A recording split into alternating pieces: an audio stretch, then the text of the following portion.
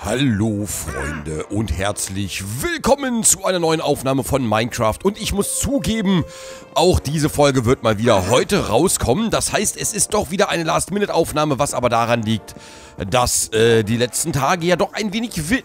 Was war das denn? Ich dachte gerade, ich dachte, das war Derpy. Schade, dass die letzten Tage doch ein wenig wild waren. Ich muss das Mikro mal anders positionieren, so ist besser. Ähm, da wir ja die letzten Tage, wir hatten die, die PlayStation 4 Eröffnung, die haben wir ja moderiert in Berlin zu eisigen Temperaturen, wo wir übrigens extra noch äh, Klamotten gestellt bekamen. Das kann ich mal sagen. wir mussten extra noch ins Kaufhaus und haben Klamotten gestellt bekommen. Da habe ich mich gefreut, denn der Mantel war viel zu kalt, mit dem ich da angereist bin. Wir dachten, das wäre über, über, äh, überdacht mit dem Sony Center, war aber nicht so. Leider, muss man sagen. Das sieht schon mal recht interessant aus hier. Ach, wir sind hier jetzt auf dem oberen Weg. Jetzt muss ich selber mal gucken, was ich letztes Mal verbrochen habe. Das wird aber, glaube ich, ganz geil. Bis auf äh, El Trepo Fix. Da fehlt noch was.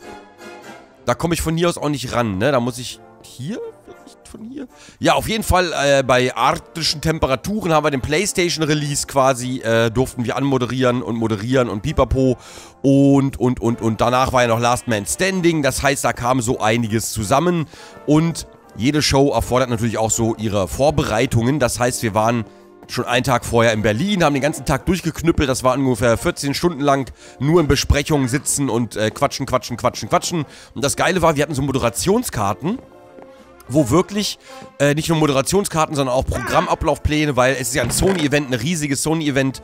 Äh, das heißt, es war wichtig, dass alles funktioniert, dass alles genau getimed wird und so weiter und so fort. Und ähm, wir hatten wirklich Angst davor. Wir hatten der Walle und ich, wir hatten mega Angst davor, dass wir das nicht hinkriegen. Und, äh, Slaps habe ich, genau. Und, und, und, äh, weil das war das erste Mal, dass... Ich glaube, das muss man ehrlich sagen, dass man uns sowas zugetraut hat, weil wir sind ja Quatschbirnen. Das klappt im Let's Play super. Im Freitagsstream ist das auch okay. Da quatschen wir einfach chaotisch durch die Gegend. Aber sind wir mal ehrlich, ob wir jetzt dadurch automatisch gute Moderatoren sind für so ein Event. Ich glaube, da ist man doch lieber ein bisschen vorsichtig und dann lässt man auch lieber mal die liebe Nela ran, äh, die von solchen Dingen auch mehr Ahnung hat, als wir das haben. Und insofern, ähm, naja, deswegen, wir, der, wir dürfen noch lange nicht auf irgendeinen roten Teppich und Leute moderieren. Berühmte Leute, die vorbeikommen. Was ich aber interessant fand, da waren viele Damen dabei, muss ich ja mal zugeben von denen ich schon ewig nichts mehr gehört habe. Was macht denn Ingolf Lück heute eigentlich? Oder Kai Pflaume? Was machen die denn alle heute? Hängen die nur zu Hause rum und sagen, so, jetzt, oh, puh, schon so spät. Da gehe ich mal, hab ja sonst nichts zu tun, da gehe ich mal zum Sony-Event, wo ich ja, was mache ich denn eigentlich bei einem Sony PlayStation Release-Event? Ich habe ja sonst mit Sony Playstation, ich kann es ich verstehen, natürlich beim, beim Kai für die Kinder, das kann ich ja irgendwo verstehen. Das war das größte Argument des Abends am blauen Teppich. Ja, ich hole das Ding für meine Kinder. Aber selber hatten die Leute ja wenig Ahnung davon. Fand ich sehr interessant. Und äh, das macht das Ausfragen auch ein bisschen schwer, wenn alle sagen, ja, ich gehe für meine Kinder hin. Playstation 4, pff, keine Ahnung, ich gehe für meine Kinder hin. Tja, dann kannst du vielleicht mal über die Kinder fragen, aber naja, ist, äh, glaube ich, sehr schwierig gewesen. Wir hatten es dann doch relativ einfach, beziehungsweise wir hatten es einfach gar nicht einfacher, weil... Doch, eigentlich hatten wir es einfacher. Denn ursprünglich sollten wir streng nach Plan und es sollte alles funktionieren und wir sollten dann genau auf, auf den Punkt. Teilweise war wirklich wichtig, dass wir auf die Minute genau im Zeitrahmen bleiben, denn der PlayStation Release war für so und so viel Uhr geplant, musste auch für so und so viel Uhr hoch vollzogen werden, denn irgendein Mitschnitt sollte live gehen über irgendeinen Sender, also Pro 7 wahrscheinlich. Ähm, und deswegen waren wir da halt sehr, wirklich sehr nervös und doch ängstlich, dass wir es nicht hinkriegen. Weil wir uns ja immer verquatschen und das heißt, das ist bei uns immer ein bisschen schwieriger. So, und was mache ich jetzt? Ich habe ja hier ganz kurz, ich, äh...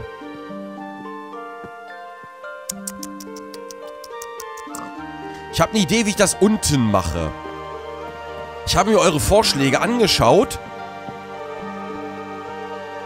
Ich werde es aber nicht eins zu eins machen, wie es vorgeschlagen wurde, sondern ich werde ein paar Modifikationen vornehmen. Das heißt aber... Eisen. Das heißt aber, ich weiß noch nicht genau, wie ich es da oben mache. Ich glaube, ich werde die Decke verbreitern müssen. Hier unten aber das lasse ich einfach mal so als Erlebnispark sozusagen offen. Und ich glaube, da muss ich tatsächlich doch noch ein bisschen in die Tiefe gehen. Das tut mir echt leid. Wir werden hier unten ein wenig Zeit verbringen, wie es aussieht. Das mit den Klemmen finde ich eigentlich gar nicht mal so ungeil. Das sieht schon recht stylisch aus. Aber ich fürchte, wir werden noch ein wenig in die Tiefe gehen müssen. Wir haben ja noch Spitzhacken noch und nöcher. Da können wir ja, pass auf, dann fange ich mal da hinten an. Sammle ich hier mal, Platz haben wir auch. Da sammle ich mal die ganzen Kappes auf, dann kann ich noch ein bisschen weiter erzählen. Weißt du, dann verbinden wir wieder das Praktische mit dem Nützlichen. Das ist doch gut. Gehen wir erstmal zwei in die Tiefe, das reicht hoffentlich. Du müsste eigentlich, müsste eigentlich genau hinkommen. Und da oben komme ich, glaube ich, nicht mehr hin. Okay. Das heißt, ich werde folgendes machen. Selbst da komme ich schon nicht mehr hin. Ich mache dann mal, pass mal auf, siehst du gleich. So und so. Das dürfte er hinzukriegen sein. Das sollte er eigentlich gehen. So, auf jeden Fall, wir sollten ja, wir sollten ja genau auf die Minute teilweise moderieren, weil der Lounge, der war ja kritisch. Der Button, dieser blaue Button zum Lounge, sollte ja quasi zu einer festen Zeit gedrückt werden. Das war ursprünglich der Plan. Es hat eigentlich auch super geklappt. Wir haben das, äh, also es hat nichts funktioniert, davon mal abgesehen, ne? Also, teilweise ist die Technik ausgefallen, teilweise kamen die Leute gar nicht über den, über den blauen Teppich gewalzt, weil wohl, so habe ich jetzt gelernt, die Promis müssen da wohl immer zu spät kommen. Ähm, sonst, äh, ich weiß nicht, das ist wohl irgendwie so, so ein Ding, das machen die einfach so. Das gehört sich so. So. Naja, haben wir schon mal geübt fürs Dschungelcamp. Nee, jedenfalls, was wollte ich sagen und nicht lügen? Ja, habe ich vergessen. War jedenfalls, war ganz lustig jedenfalls und man muss einfach sagen, ach ja, die Technik und alles ging schief. Nichts hat funktioniert, so wie hier gerade. Das mache ich mal mit Erde zu. Und äh, dadurch hatten wir natürlich die Chance, das zu machen, was wir können. Und zwar spontan alles überquatschen. Sich nicht an Zeiten halten oder an irgendwelche Rahmen. Also wir hatten natürlich immer die Stimme im Ohr, die uns gesagt hat, so, jetzt äh, kommen wir mal zu diesem, jetzt kommen wir mal zu dem. Aber meistens hat die Stimme gesagt, oh, äh, ist noch nicht da, wir brauchen noch, äh, wir, wir müssen noch, ihr müsst noch fünf Minuten machen. Das hat die Stimme immer gesagt und äh, dann haben wir einfach spontan einfach übers, überquatscht. Ihr wisst ja selber, wie es ist. Interessant fand ich aber, dass äh, zwar da bin ich ganz objektiv, das meine ich nicht mal böse. Da war ja ein blauer Teppich mit ganzen Promis, aber es hat sich einfach keine Sau danach umgedreht. Wir standen ja die ganze Zeit vorne an der Bühne, es hat sich einfach keine Sau zum blauen Teppich umgedreht. Verstehe ich gar nicht. Wobei, auch da wieder, ich weiß gar nicht, warum teilweise da Leute auf dem... Ich, ich weiß es nicht. Ich blicke dieses Promi-Ding in Deutschland eh nicht. Das habe ich auch schon ein paar Mal erzählt. Weißt du, da musst du echt nur beim, bei Boris Becker die Schenkelschere machen. Das Thema hatten wir ja schon mal und schon bist du prominent. Oder beim Dieter Bohlen. Dieter Bohlen und äh, Boris Becker, das sind die, die Promi-Begatter sozusagen. Wenn du da einmal den Reißverschluss aufmachst, dann stehst du sofort in den Schlagzeilen. Und dann musst du aber dafür sorgen, dass du in den Schlagzeilen bleibst, indem du möglichst überall hingehst. Überall. Egal, wo was geladen wird. Kaufhauseröffnung oder vielleicht die Geburt eines Babys oder generell irgendwo, wo eine Kamera ist, sofort hingehen und reingucken. Und natürlich ein falsches Lachen aufsetzen. Das ist auch ganz wichtig. So, ja, I love you all. Es ist mir total wichtig, hier zu sein. Hä?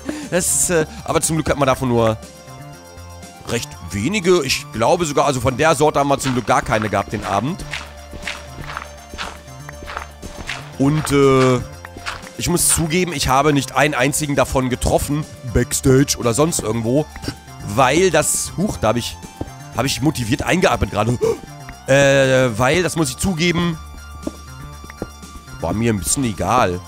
Ich stand halt noch draußen, äh, an der Absperrung quasi und dann wurde immer versucht, mich dann wieder, wurde mich versucht reinzuholen, quasi auf diese, äh, sehr wichtige Party, aber war mir ein bisschen egal.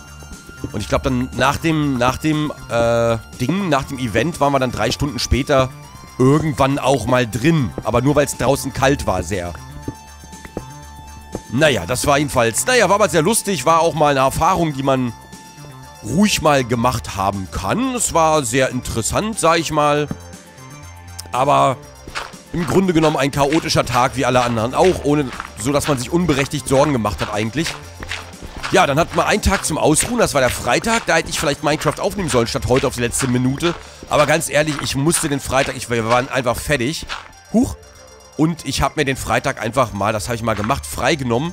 Weil wir ja auch davor schon die ganze Zeit vorbereitet haben. Immer wenn wir irgendwas moderieren oder sonst irgendwas, dann müssen wir ja quasi dafür einen Aufnahmetag geht dafür flöten. Ne, und deswegen haben wir einfach mal gesagt, so, wir machen ja nicht. Ey, du Fackel. Und äh, nehmen uns einfach mal frei. Was auch genau richtig war, weil wir waren am nächsten Tag, war ja, am nächsten Tag war ja schon LMS. Und das ist ja diesmal nicht acht Stunden gegangen, sondern neuneinhalb Stunden, alter Finne. Und äh, da waren wir auch, da waren wir auch fertig, du, da waren wir fertig, fragen die Sonne noch so nach Sonnenschein, da waren wir halt immer noch fertig. BZW schon wieder.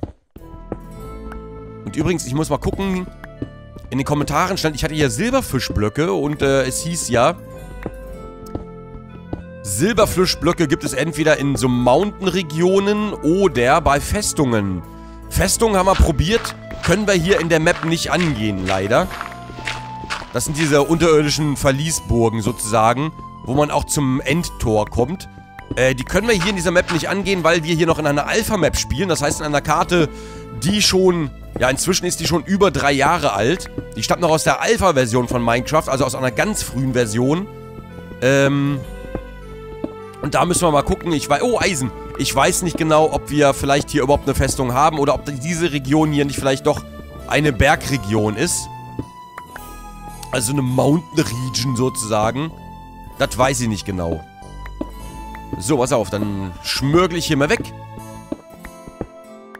Ja, dann habe ich jetzt noch 10 Minuten Zeit, dann kann ich noch mal ganz kurz erzählen. Ich mache das so ein bisschen kurz zusammengefasst, dann haben wir beide Themen gleich abgefrühstückt. Für einige, für einige ist es ja gar nicht interessant, wenn man das so ein bisschen erzählt. Auf jeden Fall hatten wir ja gleich danach LMS2, das war von mir aus gesehen... Ne, gestern haben wir GTA Online aufgenommen, dann war es vorgestern. Ne, also keine Zeit danach auszuruhen, es geht gleich weiter natürlich im Programm. Und, ähm... Ja, auf jeden Fall LMS2, was soll ich dazu sagen? Leckt mich am Arsch, wurde da wieder übertrieben, meine Fresse. Also die Kulisse, ich muss übrigens sagen, ich habe gestern eine Info bekommen, dass wohl der Benny von den Circle of Alchemists hat ja die Technik gemacht da quasi, wo es ja auch wieder Chaos gab ohne Ende, aber das ist ja normal bei so einem langen Event, das kannst du gar nicht alles äh, planen, dass es alles glatt läuft. Auf jeden Fall soll wohl die Playstation 4, die wir dort benutzt haben, soll wohl abhanden gekommen sein. Und da wurde ich gefragt, ob ich mir die mitgenommen habe. Tatsächlich hätte ich gedurft. Aber ich habe gesagt, nee, pass auf. Äh, ich habe genug Gepäck, weil wir mussten noch Ersatzklamotten mitbringen, bla bla bla. Dann nehme ich die lieber am kommenden Freitag mit. So eilig habe ich es mit der nicht. So, weil eigentlich sollte man die beim Sony-Event mitnehmen. Da hätten wir ja PlayStation war Teil der Gage, das war wichtig. Wir, haben ja, wir waren ja gebuchte Moderatoren, das heißt, wir haben tatsächlich Gage bekommen. Also es war nicht unser Event. LMS2 war auch nicht unser Event, obwohl ich, ehrlich gesagt, bei LMS1 haben wir keine Gage genommen. Bei LMS2 jetzt, muss ich zugeben, weiß ich das gar nicht. Ist mir relativ egal. Wirkung ist voll Geld geil. Ich achte da irgendwie gar nicht drauf, was aber daran liegt, dass es mir viel wichtiger ist, mit den Leuten da zu sein und extrem Spaß zu haben. Das muss man ja mal sagen. Also LMS ist immer wieder, ich kann es nur sagen, es ist immer wieder wie ein Klassentreffen. Und es macht einfach mega Spaß, das muss man mal sagen. Viele denken ja, wir laufen irgendwie... Oder es gäbe eine großartige Konkurrenz zwischen, zwischen den Peets und uns oder sonst irgendwas. Aber ganz ehrlich, äh, nö. Nö. Es kann vielleicht mal so gewesen sein, dass man da ein bisschen engagierter war in der Richtung oder gesagt hat, huch. Aber äh, ganz ehrlich, das ist so lange vorbei. Nee, man trifft sich ja auch ab und zu mal so. Ne? Mit dem Bram verbindet mich ja sowieso eine intime Liebe inzwischen schon. Auch zum Tanzen vor allen Dingen. Das äh, ist vielleicht aufgefallen. Nee, auf jeden Fall, äh, das ist wirklich keine Konkurrenz und im Grunde genommen war es auch allen relativ Wurst wer da gewinnt, in Klammern glaube ich, hoffe ich, auch wenn man natürlich so ein bisschen auf Competition gemacht hat, aber es ist ja halt alles so aufgezogen. Weil Last Man Standing soll ja Competition sein, aber ganz ehrlich, ich glaube, der Zug ist einfach abgefahren. Wir freuen, man freut sich zwar immer wieder, wenn man mal ein Ründchen gewonnen hat, aber im Großen und Ganzen ist es egal. Und es ist natürlich leicht, das jetzt zu sagen, weil wir es im Endeffekt in Klammern unverdient gewonnen haben aber äh, auch als Team Pete die ganze Zeit in Führung lag. Und das haben sie ja den, sie haben ja den Abend dominiert, muss man einfach sagen. Auch als sie in Führung lagen, war der O-Ton trotzdem derselbe. Äh, es ist eigentlich scheißegal, wer den Abend gewinnt. Es ist einfach egal. Es macht zwar Spaß, sich so ein bisschen zu beefen, sich so ein bisschen zu betteln. Das macht ja immer Spaß. Das macht ja auch untereinander Spaß. Ähm, aber im Grunde genommen muss ich sagen, bin ich einfach dankbar für die Veranstaltung an sich. So, die will ich auch nicht missen, ehrlich gesagt. Äh, und deswegen, da ist mir auch irgendeine etwaige Gage oder sonst was, ist mir eigentlich, ist mir ziemlich egal. Das mag dumm sein von mir und äh, das mag manch anderer anders sehen, aber das ist mir ehrlich gesagt Wurst. Weil ich verdiene doch sowieso mein Gehalt. Ich kann ja gut leben. Und ich bin der Letzte, der sich beschweren kann, muss man mal sagen. So. So ehrlich muss man dabei auch sein. Und ich gönne natürlich jedem anderen, dass der da auch ein paar Penunsen verdient. So. Ich mach hier nicht so einen auf selbstlos, ja. Entschuldigung, wollte ich nicht. Ich wollte nur sagen, wie es ist, ne? Ich wollte da jetzt nicht irgendwie toll klingen oder sowas, wenn ich so, eine, so einen Kack erzähle. So, wir kommen hier auf jeden Fall langsam voran und... Boah. Äh... Okay, wir kommen langsam voran. Ach so, ich habe jetzt aber schon ein bisschen weiter nach hinten. Ist aber auch okay. Vielleicht sollte ich dann tatsächlich mal, ich mache jetzt heut, heute noch ohne TNT, das nächste Mal hoffe ich, denke ich dran, dass ich mit TNT mache. Ja, auf jeden Fall LMS 2 äh, PlayStation 4 Panten gekommen, aber es war niemand, man vermutet, es war niemand vom Team, was anwesend war, sondern es war wohl eher jemand von, am nächsten Tag wurde da auch gedreht und irgendwer hat wohl versäumt, ich weiß nicht, irgendwie wurde versäumt, die Blazy wegzuräumen, was total schlau ist. Weil es gibt ja nicht etwa Schlägereien oder sowas um die neuen Konsolen. Nein, nein. Die gönnt jeder jedem Scheiße. Jetzt habe ich keine Schaufel. Das war wirklich nicht so schlau, glaube ich, die da einfach so stehen zu lassen. Naja, ist, äh... Einer freut sich jetzt und vor allem die Kabel wurden liegen gelassen. Alle Anschlusskabel liegen gelassen, nur die Playsee schnell abgeklemmt und das Hemd geklemmt wahrscheinlich und dann weggelaufen. Ja, naja, so viel dazu. Und, äh, was wollte ich noch erzählen? Auf jeden Fall, wir kamen da rein in die Halle. Letztes Mal war es so, wir hatten eine Studiohalle und die war gedrittelt durch so einen Vorhang, wird die abgehangen und dadurch Dadurch äh, war das Ganze natürlich sehr viel kleiner und dieses Mal war nichts abgehangen und wir hatten eine komplette Produktionshalle für uns. Man muss dazu sagen, TV Total hat eine eigene Produktionshalle für sich. In etwa der, doch ist die gleiche Größe, glaube ich. Und wir hatten diesmal eine, eine Halle in der Größe von TV Total, muss man sagen. Und ich hatte das Wesentliche auf Facebook geschrieben. Ich fand's extremst, extremst geil, aber ich fand, muss ich sagen, und damit meine ich nicht nur mich selbst, sondern alle, die Let's Player kamen ein bisschen zu kurz. Weil die Moderation wurde übernommen, wir konnten also gar nicht alle selber moderieren. Ähm, wir hatten drei Moderatoren da und äh, der Fokus lag natürlich sehr viel auf den Spielen und das mag auch vielen sehr, sehr gut gefallen. Aber trotzdem hätte man noch ein bisschen mehr Fokus auf die Anwesenden äh, legen müssen, weil die meisten Leute, so ehrlich muss man ja sein, die meisten Leute haben tatsächlich geguckt wegen der Hansel, die da rumsitzen. Das soll jetzt auch nicht wieder eine arrogante Aussage sein, sondern ist tatsächlich eine Tatsache und es wurde auch sehr oft angemerkt den Abend, dass man einige Leute, in Klammern mich übrigens auch, nur sehr selten gesehen hat. Ne, da müssen wir, und nächsten Mal, da gilt es, aber wir lernen ja daraus, ne, das war jetzt das zweite Event, die Fehler vom ersten Event wurden nicht mehr gemacht, die wurden korrigiert und jetzt haben wir das zweite Event gemacht, da ist man ein bisschen vielleicht übers Ziel hinaus, aber lieber so rum als, als gar nicht. Oder als in die andere Richtung. Und ganz ehrlich, ich glaube, in der nächsten Sendung, das könnte sehr ausgeglichen werden. Zumal die Pietz und ich, wir haben uns schon gesagt. Doch, das haben der Peter und ich haben das abgesprochen. Genau, ich überlege gerade, wer da alles an der Verschwörung beteiligt war. Aber der Peter und ich, wir haben uns abgesprochen, huch, äh, dass wir auf jeden Fall das nächste Mal mitreden bei der Auswahl der Games einerseits und auch bei, ähm... Scheiße, da komme ich nicht ran. Und, und, und auch bei... Komme ich da vielleicht so ran, wenn ich jetzt hier... Ah, ich komme ja so ran. Jetzt schwimm doch mal dahin. Äh, bei der Auswahl der Games mitreden, dass wir bei der Punkteverteilung mitreden, wie wir das machen. Dass wir da quasi Mitbestimmungsrecht haben. So. Bei der Punkteverteilung und pipapo. Und vielleicht auch mal ein bisschen Input geben können, wie man zum Beispiel die Zuschauer einschätzt. Weil die Zuschauer kommen ja nun mal von uns. Das muss man einfach sagen. Das seid ja ihr, das bist vielleicht du gewesen. Auf jeden Fall seid ihr das. Und es soll ja auch eine Show für euch sein. Mir persönlich hat ein bisschen der anarchistische Charme gefehlt. So dieses, weiß ja, Guerilla-Charme, was wir sonst immer so gemacht haben. Quasi das alles so ein bisschen chaotisch und durcheinander. Da war schon alles sehr strukturiert. Auch wenn ein paar Sachen nicht funktioniert haben. Da hätten wir hinten auffangen können zum Beispiel, weil wir haben echt viel Quatsch gemacht. Wir haben versucht, dass die Regie mal zu uns rüberschaltet, als wir da ein bisschen gesungen haben. Mana, mana, pati, pati, pi. Aber das hat leider nicht so gut geklappt. Oder als wir Schneeengel gemacht haben, auf dem dreckigen Studioboden. Ist schön. Waren eher Staubengel, aber trotzdem hat mega Spaß gemacht. Und wir hatten hinten auch ganz viel Spaß, auch wenn man uns nicht ganz so oft gesehen hat. Aber äh, war auf jeden Fall trotzdem ein sehr gelungenes Event. Und ich muss sagen, Just Dance, der Brammen hat mir diesmal verraten, er hat tatsächlich einen Gold Star Award vom Tanzen. Der Typ ist professioneller Tänzer. Das ist doch kein Wunder. Ich muss echt, also ganz ehrlich, das wird mir ein persönliches Anliegen sein. Ich habe es auch geschrieben. Ich wiederhole mich da gerne. Es, wird, es ist mir ein persönliches Anliegen, Brammen bei Just Dance zu schlagen. Das muss machbar sein. Aber das kann gar nicht anders. Das ist ja, das, das, das kann nicht da. Das ist ja nicht, das geht doch nicht. Das kann ich nicht auf mir sitzen lassen. So, warte, hier nochmal weg. Unfasslich. Und wenn ich hier üben muss, ist mir egal.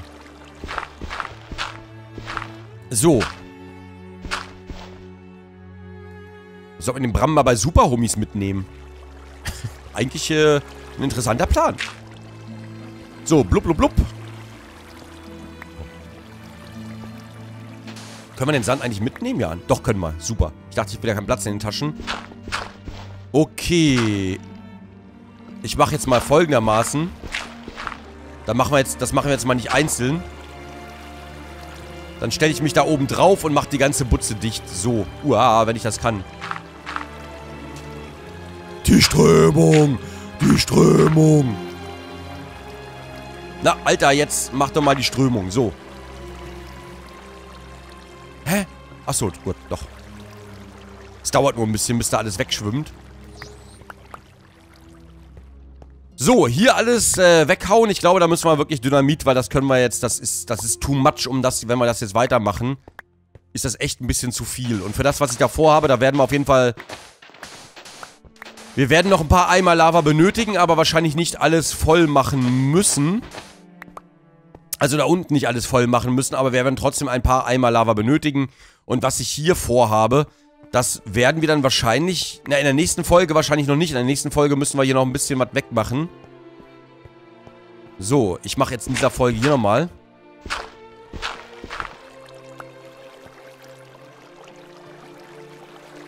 So, dann mache ich das von der anderen... Na los, komm schon.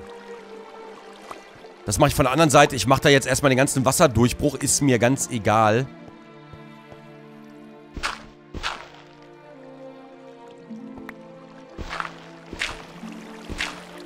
So, da kriegen wir zwar arge Probleme hier. Ich frage mich, wie die das bei Rapture gemacht haben. Da müssen die auch, auch ähnliche Probleme gehabt haben. Ich sehe gar nichts mehr. Auf jeden Fall kann man sagen, das Ende, das Endergebnis hier, auch wenn es ein bisschen länger dauert, aber ich glaube, der Tunnel wird extremst episch.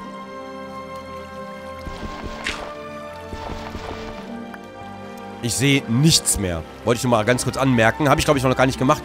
Na los, na los, bevor wir jetzt... Na los, na los, hier hoch, hoch, hoch, hoch, hoch. Ach ja, und äh, der Typ da ist tot. Muss ich natürlich noch erwähnen. Ich sollte ja ursprünglich eine Schweigeminute einlegen, aber ganz ehrlich, äh, ich... Der Grund, warum ich es nicht mache... Wie heißt der? Paul Walker, genau. Wieso den Namen? Ich, ich, der Schauspieler, ich bin da nicht so drin. Ich muss zugeben, ich bin da nicht so drin. Ich aber plötzlich ist ganz Facebook voll damit und das Schlimmste, was ich ja daran finde, ist auf einmal diese ganzen Paul Walker ist tot Seiten. Like diese Seite, wenn du seinen Tod bedauerst. Alter, ganz ehrlich, Leute, seid ihr noch ganz frisch? Ich meine, mit dem Tod eines Menschen seine Facebook-Seite befeuern zu wollen, das ist ein bisschen traurig. Ich warte noch, wann die Paul Walker Faktenseite kommt. Diese Drecks-Faktenseiten, da bin ich echt abgefuckt, muss ich mal sagen. Und, ähm, die sind super nervig. Super ätzend und nervig. Diese like, diese like geilen Promo-Schlampenseiten. Ich frage mich, was bringt den Leuten das? Es bringt ihnen überhaupt nichts. Nix. Außer, dass die vielleicht in der Schule sagen, ey, guck mal, ich hab da Likes. Geil, ey, ich bin ein besserer Mensch. Weil ich Likes habe. Auf einer Facebook-Seite, die mir überhaupt nichts bringen. Nicht mal ein Taschengeld und nix. Nicht mal ansehen, nicht mal weiß ich nicht was. So, jedenfalls, äh, was wollte ich sagen? Ja, Paul Walker ist tot.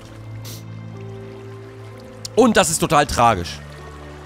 Und was ich scheiße finde, der Grund, warum ich auf jeden Fall keine Schweigeminute machen werde, ist einfach der Grund. Pass auf, wir machen eine Schweigeminute.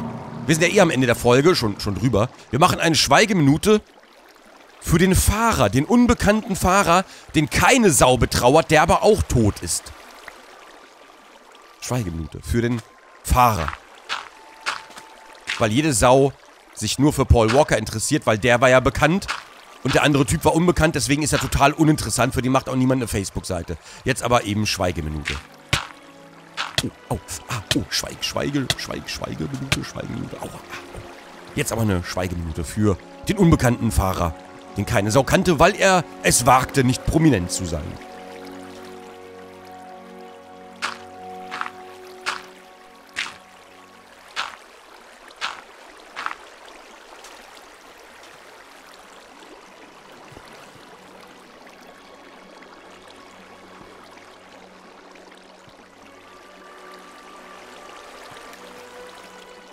Ist die Minute bald rum? Ich finde Schweigeminuten bei Let's Plays irgendwie strange. Nehmen wir es doch einfach...